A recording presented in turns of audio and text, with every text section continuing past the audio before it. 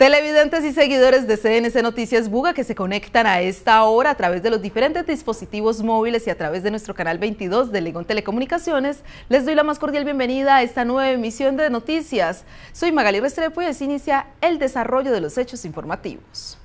Un hombre resultó herido con arma blanca cuando se encontraba sentado en uno de los andenes de las torres de los bloques de Uninorte en la ciudad de Buga. La noche de este jueves 21 de enero, al parecer por una riña que se presentó en la calle 33A con carrera 12, sector de Uninorte, resultó lesionado un joven con arma blanca, quien responde al nombre de Uberney y quien es conocido como Paila por sus amigos. Información extraoficial da cuenta que el joven se encontraba sentado en el andén cuando otro sujeto se acercó y le provocó heridas en diferentes partes del cuerpo y quien se recupera en un centro asistencial de la ciudad señora. Y no como se manifestó en redes sociales donde se habló de que había sido degollado. Oficialmente se conoció que la persona herida se encuentra estable. Dos hombres que fueron requeridos por la policía en un operativo de registro y control fueron cobijados con medida de aseguramiento por el delito de porte ilegal de arma de fuego. Este hecho ocurrió en la ciudad de Buga. Un juez de control de garantías impuso medida de aseguramiento consistente en detención domiciliaria contra William Andrés Nogoa García y Ferney Barbosa Guerrero, como presunto responsable de portar armas de fuego sin los respectivos permisos en el municipio de Buga.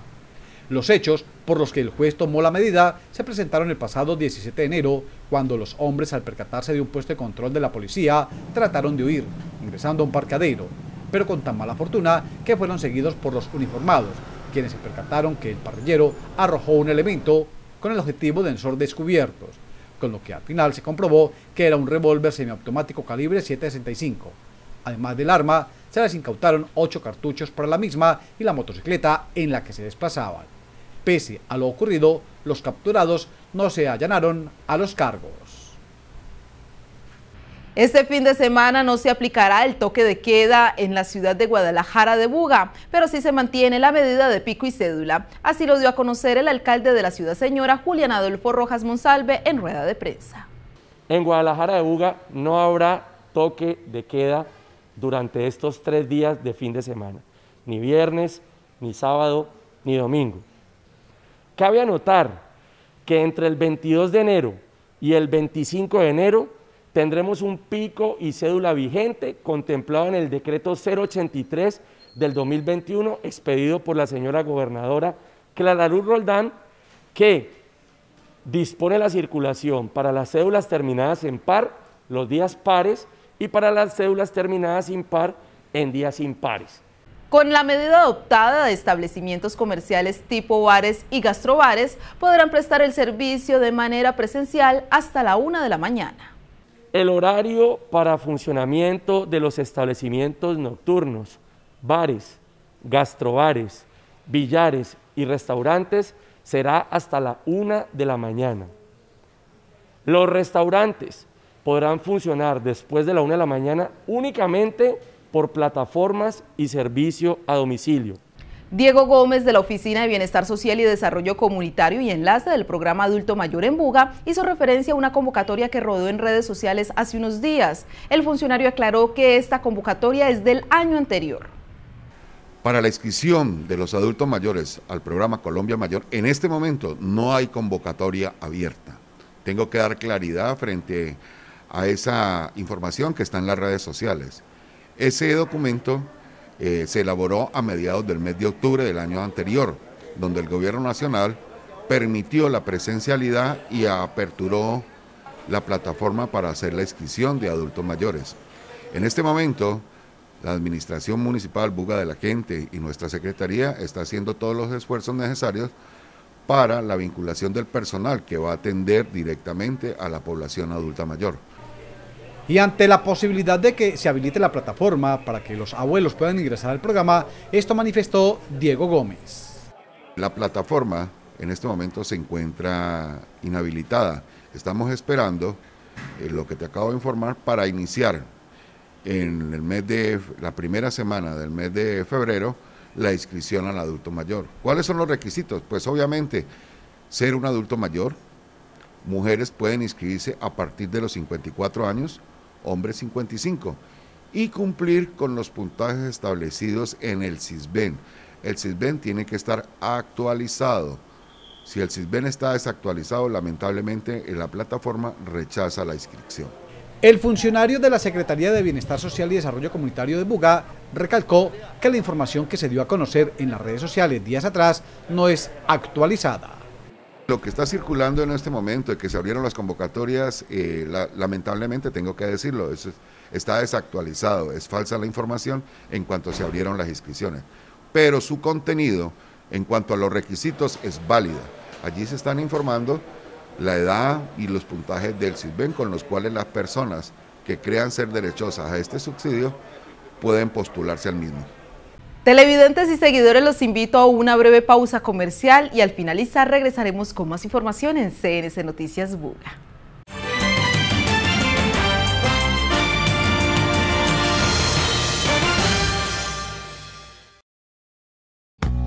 Servigenerales S.A.E.S.P empresa que presta el servicio de facturación del acueducto y alcantarillado en la ciudad de Buga, informa a todos los usuarios que a partir de la fecha tiene a disposición el correo electrónico cliente.buga.ubacer.co para atender las peticiones, quejas y reclamos. Este nuevo canal está a disposición de toda la ciudadanía.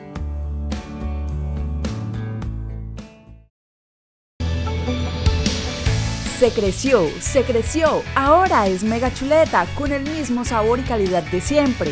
Muchos nos han querido imitar, pero como el restaurante Don Carlos, solo hay uno. Disfruta de nuestros platos en compañía de tu familia y amigos. Carrera Octava, número 854. Restaurante Don Carlos. Domicilios 227-3248 y 237-0635. Celular 317-692-7250. ¡Bingo! ¡Bingo! Bingolín Telebingo en línea Buga. Sorteos de martes a domingo a partir de las 8 de la noche. Jugar es muy fácil. Una tabla, cinco oportunidades de ganar. Juega desde la comodidad de tu casa. Podrás disfrutarlo en familia. Fácil, seguro y confiable. Sorteos en simultánea por Facebook y YouTube como Bingolín Telebingo en línea Buga. Ubica tu punto de venta más cercano o vendedor de confianza. Nuestros vendedores te enseñarán a jugar. Cada noche sorteamos un millón de pesos. Cada noche cinco bingos, cuatro sencillos de 100 mil pesos y tabla llena de 600 mil pesos.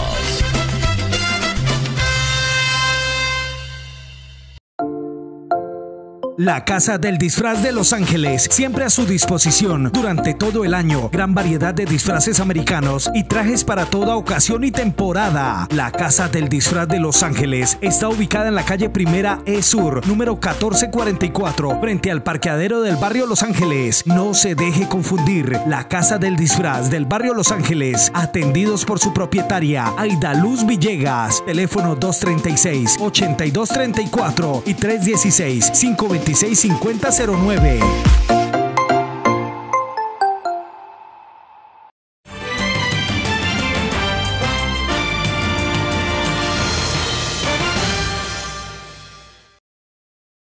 El alcalde de Guadalajara de Buga también hizo referencia a las tarifas que por concepto de tema de tránsito se cobrarán en la ciudad señora y que en los últimos días generaron tantas polémicas.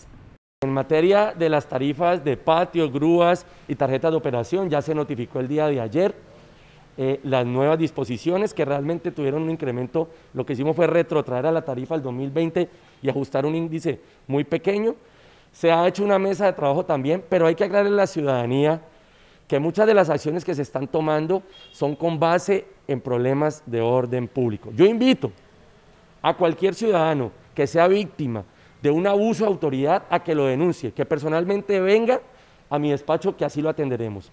No vamos a permitir abusos de autoridades, pero tampoco vamos a permitir que detrás de cortinas de humo, de personas que incluso ni viven en el municipio, se nos escondan sicarios, delincuentes y extorsionistas. Una cosa tiene que ver con la otra. No vamos a permitir el abuso de autoridad, pero vamos a ser contundentes en combatir los delitos que se están presentando y todos sus factores de influencia aquí en la ciudad de Buga. Alcalde, nos preguntan sobre el cobro de las tarifas de tránsito que se hicieron efectivas eh, en lo que va corrido del año, ¿qué va a pasar? ¿Se devuelve ese dinero? ¿O, o qué van a hacer ustedes o qué han analizado sobre eso? Lo que se analiza es que el acuerdo estaba revestido de legalidad. La persona que quiera reclamar o crea que ha sido vulnerado el ordenamiento jurídico tendrá que actuar dentro de un mecanismo judicial para nosotros actuar en cumplimiento estricto de una orden judicial. Son recursos públicos y más allá de todo lo que se ha generado, el acuerdo estaba revestido de legalidad y yo invito a las personas que han querido desinformar a la ciudadanía que tomen las acciones judiciales. Nosotros seremos respetuosas de ellas. Pero yo no soy una persona como un monarca que puede disponer cómo entregar los recursos o no. Nosotros actuamos en el parámetro de la legalidad y no con populismo. Lo que pasa es que el que critica y hace populismo le queda más sencillo. Nosotros somos regidos por la Constitución y la ley. Y yo invito a las personas que si tienen conocimiento de abuso de autoridad, de actos de corrupción, los pongan en conocimiento de las autoridades judiciales, de organismos de control y de personería, si es el caso. El agente de tránsito departamental Norbeiza Asa Hurtado habló sobre la resolución que empezará a regir a partir de este sábado 23 de enero en el territorio nacional, en la cual se hace referencia a los tres puntos para el uso adecuado del casco. El agente de tránsito del registro departamental, Norbey Isa Hurtado, inicialmente hizo referencia a dos resoluciones que están vigentes en cuanto al tema de la venta y compra del casco y el uso del mismo, cumpliendo con los parámetros legales. La primera resolución que es la 1080, donde nos eh, dice que obliga a los comerciantes, a los proveedores a eh, implementar eh, el, el casco certificado. Y la segunda, que es la resolución 23385, que empieza a regir a partir del 23 de enero, del día de mañana, donde nos habla sobre el uso que se debe tener con el casco. O sea, ya allí habla sobre el uso del casco para motociclistas y o acompañantes. De acuerdo a lo que está escrito en la resolución del uso adecuado del casco, se deben tener en cuenta tres puntos a saber. La resolución 23385 nos habla de tres condiciones. La primera condición, eh, que el casco debe estar totalmente inmerso en la cabeza del conductor y o acompañante del vehículo, ajustado su correa y su broche, debe estar bien seguro. La segunda condición, no debe portarse un celular en medio del casco y la cabeza, ocasionaría daños en su rostro en caso de un accidente. Y la tercera condición que nos habla es de que eh, los cascos eh, eh, abatibles o, o, removibles, que le llaman, debe estar cerrado totalmente, igual que el visor. Tenga en cuenta que si su casco actualmente cumple con los tres pasos que le brindan seguridad, no está obligado a cambiarlo. Y así está estipulado en la misma resolución nacional. La resolución 23385 no me obliga a cambiar el casco, simplemente a cumplir con esas tres normas y evitar un ser sancionado por no cumplir con esa norma. Después de que eh, tu eh, casco cumpla con todas las condiciones que se habla nuevamente la 23385, es, eh, puedes usarlo. Así las cosas, aquellos motociclistas que se pasean con cascos ligeros, livianos y que no cumplen con la normatividad vigente y que además es un elemento para su seguridad, deberá cambiarlo. De lo contrario, se verá sometido a una sanción seguramente. William Hurtado Loaiza, CNC Noticias Buga. Nuestro compañero William Hurtado Loaiza habló con el concejal de Buga, Diego Cardona, ante los comentarios que se suscitaron por la resolución donde se fijaron las tarifas de tránsito y sobre los calificativos de los que fue víctima en las redes sociales. En días pasados se presentó una polémica en redes sociales con integrantes del Consejo Municipal frente a la aprobación que ellos hicieron de ese decreto de acuerdo en el que se dispusieron nuevas tarifas para el concepto de cobros en tránsito en cuanto al parqueo en el tránsito municipal y al transporte de grúa. Hemos invitado al concejal Diego Cardona para que nos hable precisamente de qué fue lo que ocurrió a, a, a grosso modo frente a ese decreto que generó polémica en la comunidad. Concejal, bienvenido. William, muy buenos días para usted, para todas las personas que en estos momentos nos escuchan y nos ven a través de CNC. Eh, no, pues precisamente aclarar un poquitico el tema que sucedió con las tarifas. Eh, nosotros el miércoles 20 de enero, eh, acuerdo municipal, aprobamos las nuevas tarifas que empiezan a regir desde el día de ayer, 21 de enero, que ya en varias ocasiones y las personas ya tienen las nuevas tarifas.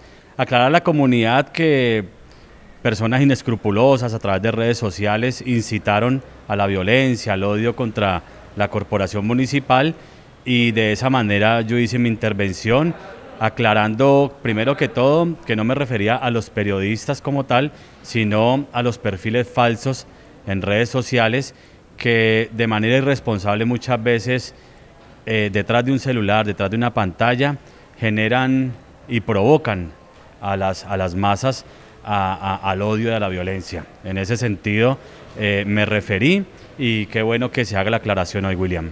Concejal, frente a esa disposición del mes de diciembre y que decimos nosotros se filtró en redes sociales porque es un decreto municipal, se tomaron los correctivos, fue a tiempo, se demoraron eh, de pronto en, entrar en el análisis de esos cobros que se iban a generar o que tal vez se generaron algunas personas.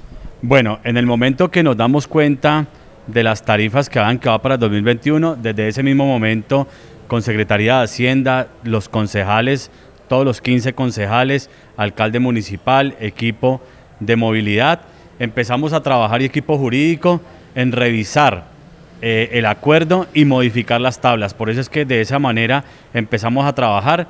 El alcalde municipal radica el proyecto de acuerdo para, la, para las nuevas tarifas y el miércoles 20 de enero ya le dimos segundo debate y ya a partir de ayer ya las personas cuentan con las nuevas tarifas para todo el 2021.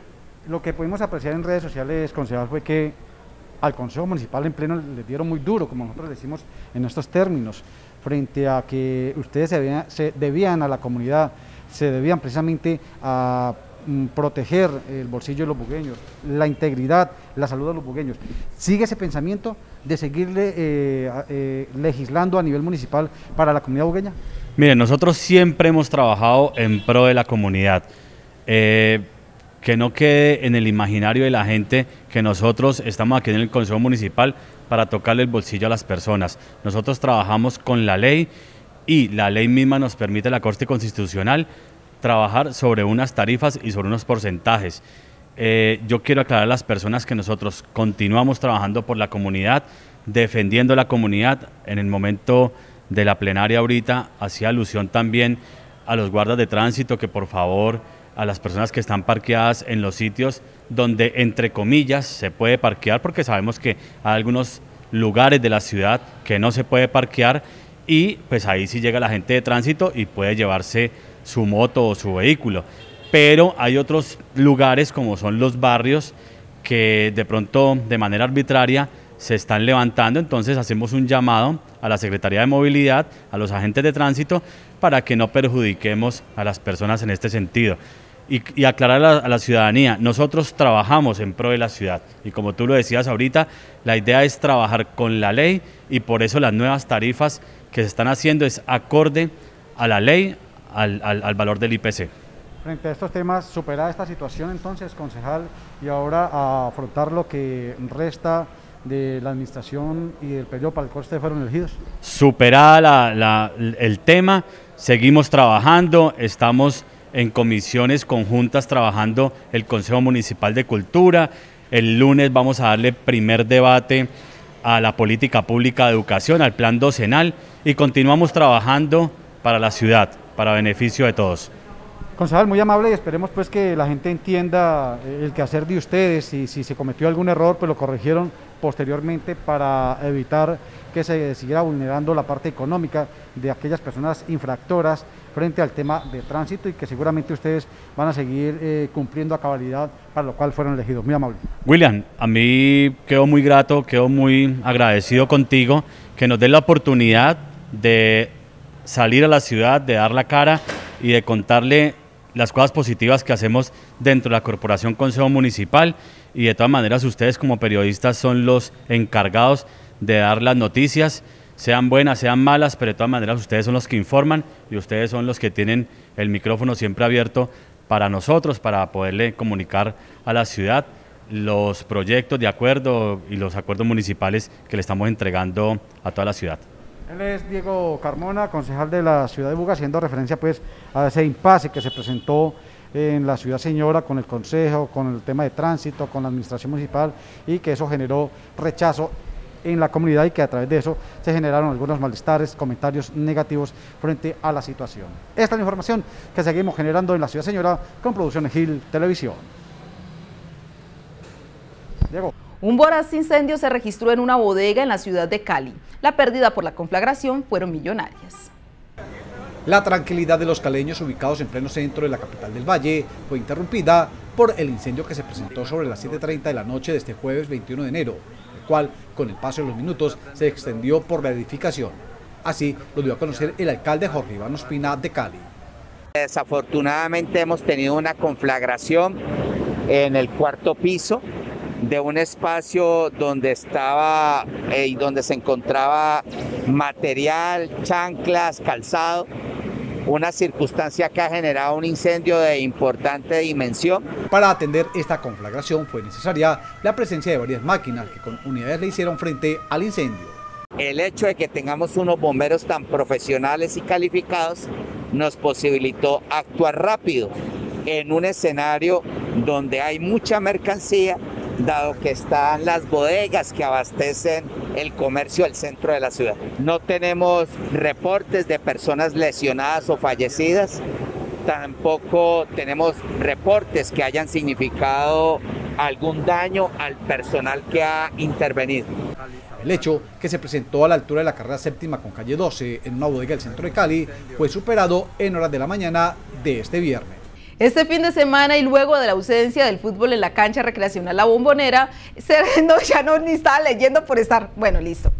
Luego de la ausencia del fútbol en la cancha del Parque Recreacional La Bombonera, este fin de semana se jugará una nueva fecha del torneo Máster y categoría 38 años. Dos partidos se han programado para este sábado en la categoría de los 38 años en la cancha de La Bombonera. Es así como a la 1 y 45 de la tarde jugarán los representativos de los amigos y los paisas. A segunda hora se enfrentarán Real Sonso y Amigos de Mari. La jornada retornará el domingo a partir de las 7.30 de la mañana, donde jugarán Real Sonso Tamayo y Concresuelo La Máquina, por la categoría 50 años. A las 9.30 saldrán por los tres puntos los equipos de JM Fútbol Club y Real Sociedad. A las 11.30 no irán fuerzas Eléctricos Cable Pelado y Supercarnes La 21. A la 1 y 30 de la tarde jugarán los conjuntos de La Bombonera y Chambimbal. La jornada futbolera en este escenario la cerrarán el combo de la 10 y papelería única, compromiso por la categoría de los 38 años. William Hurtado Loaiza, CNC Noticias Buga. Ya volvemos con más información, nuevamente hacemos una pausa comerciales.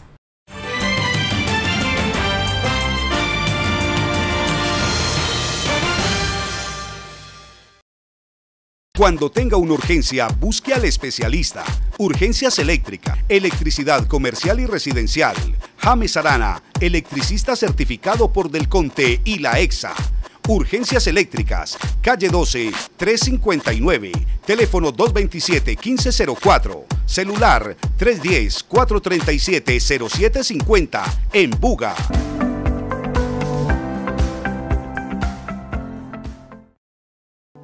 Llega a Buga una nueva forma de divertirte y ganar dinero en familia desde la comodidad de tu hogar. Haz parte de nuestro equipo. Buscamos vendedores independientes. Ofrece nuestro producto en tu tienda o negocio y obtén una excelente rentabilidad. Separa tu cita al 312-233-4929. No te lo pierdas. Te esperamos.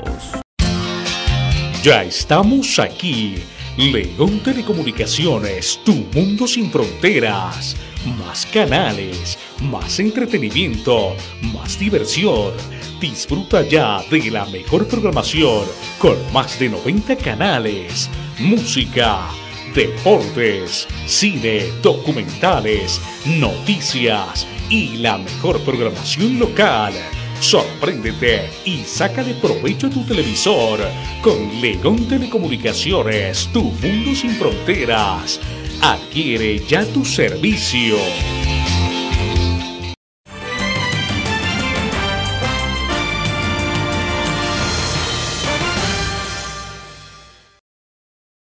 Ha llegado el momento de recibir a nuestra compañera Nora Dacier Bedoya en su sección Aquí entre nos. Adelante, Nora.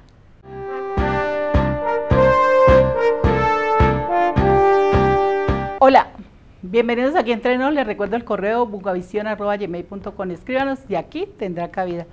Oiga, aquí entre nos, hace algunos días nos dimos cuenta y estuvimos mirando y resulta que el monumento al centenario del batallón que queda en toda la avenida de la Basílica, pues se le robaron la soga. ¿Es a la mula o es al, al, burro? Es una mula, ¿cierto? Yo creo que es una mula. Y se le robaron la soga. Lo que no entendemos es por qué, quién se llevó esa soga, con qué intención. Y escuchamos y leímos por ahí que lo iban a encerrar para poder protegerlo, pero hasta ahora no hemos visto nada. ¿Y la soga dónde andará? Yo creo que hay que preguntarle a Vargas, ¿dónde está la soga? Pero definitivamente la, la noticia es por qué lo hicieron. Eso es un daño que le hacen a, un monumento que quedó bien bonito. De hacerle este daño no vimos la razón de ser, señores, aquí entre nos.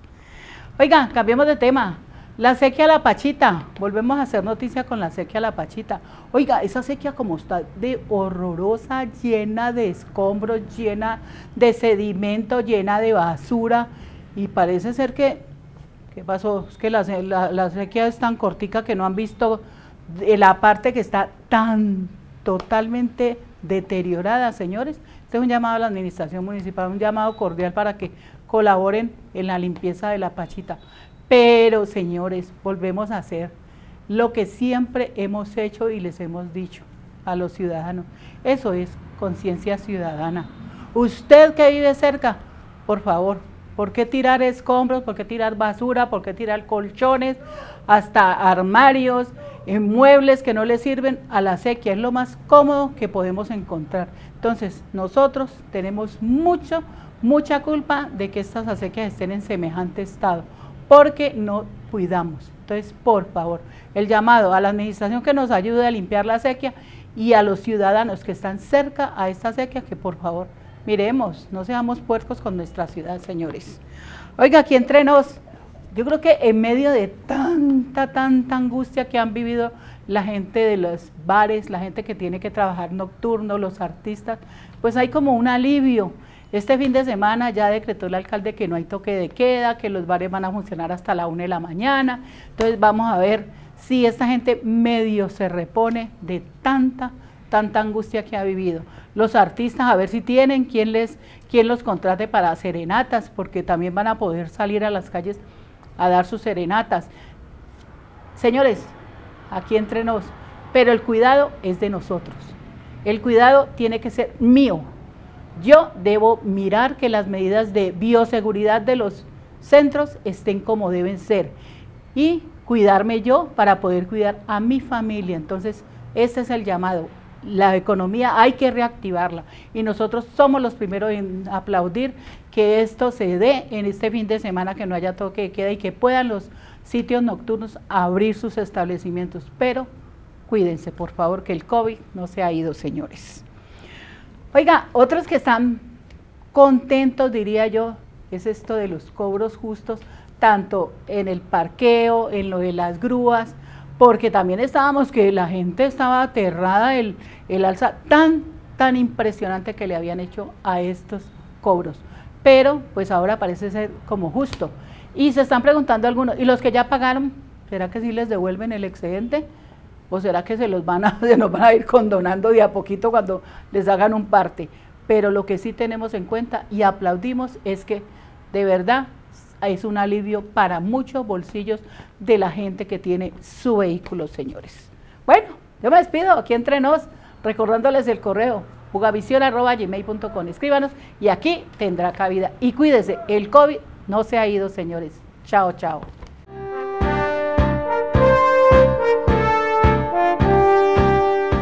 Así hemos llegado al final de esta emisión de noticias, pero recuerde que este fin de semana tenemos nuestro resumen semanal de noticias, en esta ocasión presentado por nuestro compañero David Osa. Por ahora me despido, pero nos encontramos en una próxima emisión. Chao, chao.